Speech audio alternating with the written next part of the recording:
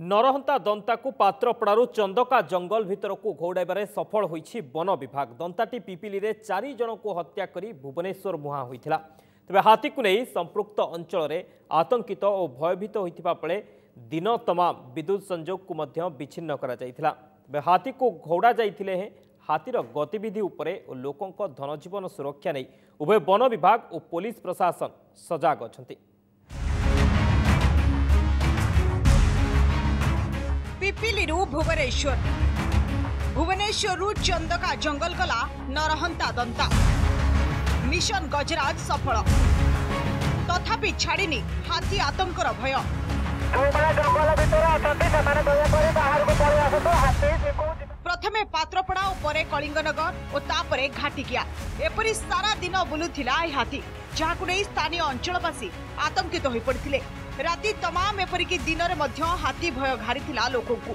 ଜନବସତି ଅଞ୍ଚଳରେ ହାତୀର ଉପଦ୍ରବ ଚାଲିଥିବା ବେଳେ ହାତୀକୁ ଘଉଡ଼ାଇବା କାର୍ଯ୍ୟ ମଧ୍ୟ ଜାରି ରହିଥିଲା। ବାଣ ଫୁଟାଇ ସାଇରନ୍ ବଜାଇ ହାତୀକୁ ଘଉଡ଼ାଇବାକୁ ଚେଷ୍ଟା କରିଥିଲା ବନ ବିଭାଗ।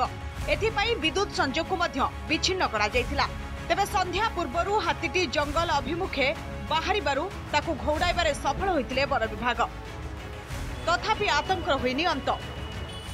ହାତୀ ବର୍ତ୍ତମାନ କଳିଙ୍ଗନଗରଟି ଥିଲା ସେ ଆସିକି ତାକୁ ଫରେଷ୍ଟ ଡିପାର୍ଟମେଣ୍ଟ ଆମର ଯିଏ ଲାଗିଥିଲେ ତାକୁ ଆଣିକି ଆମର ଏଇ ନୂଆ ଗାଁରେ ଛାଡ଼ିଛନ୍ତି। ଛାଡ଼ିବା ଭିତରେ ସେ ଯାଉଥିଲା ହାରି ପୁଣି ରିଟର୍ନ ସେପଟେ ଅସୁବିଧା ତାକୁ ବୋଧେ କ'ଣ ହେଲା ପୁଣି ରିଟର୍ନ ଏପଟେ ମୁହଁ କରିକି ଯାଇଛି ଆଉ। ଘର ଚାଳ ଘର ବି ଅଛି ଆଜବେଷ୍ଟ ଘର ଅଛି ସେମାନେ ସ୍ଥାୟୀ ନୁହଁ। ତ ସେଥିପାଇଁ ଟିକେ ଡର ଟିକେ ଲାଗୁଛି ଆଉ।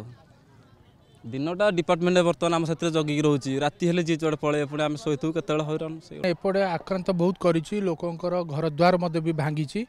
ଆଉ ଲୋକମାନେ ମଧ୍ୟ ବି ମ, ବହୁତ ଭୟ ଭିତରେ ଏବେ ପର୍ଯ୍ୟନ୍ତ ବି ଅଛନ୍ତି ଯେ ସେମାନଙ୍କର କ'ଣ କରିବେ କାଳେ ରାତିରେ ଆଉ ଥରେ ହାତୀ ରିଟର୍ନ କରିପାରେ।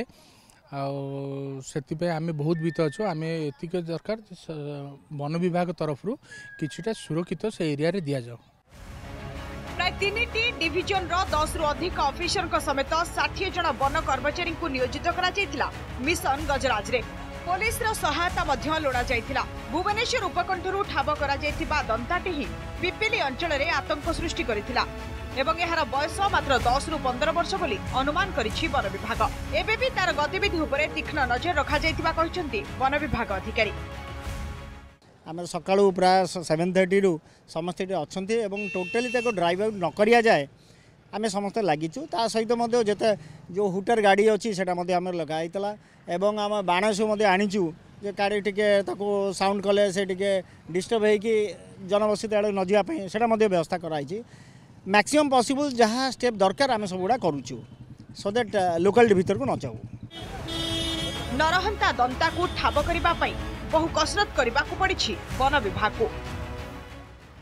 ଆତଙ୍କ ଖେଳାଇଥିବା ନରହନ୍ତା ଦନ୍ତାକୁ ଘଉଡ଼ିବାରେ ବନ ବିଭାଗ ସଫଳ ହୋଇଛି ସତ। ହେଲେ ଲୋକଙ୍କ ମନରୁ ଏପର୍ଯ୍ୟନ୍ତ ଭୟ ଦୂର ହୋଇନାହିଁ। କାରଣ ସମସ୍ତଙ୍କ ମନରେ ଏବେ ମଧ୍ୟ ଗୋଟିଏ ପ୍ରଶ୍ନ ପୁଣି ରାତିରେ ଫେରିବନି ତ ନରହନ୍ତା?